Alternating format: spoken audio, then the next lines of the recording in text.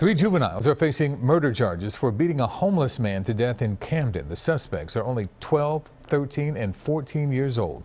Prosecutors say they killed Bobby Hill Jr. in an alley last June. Two other teenagers were already charged with the murder.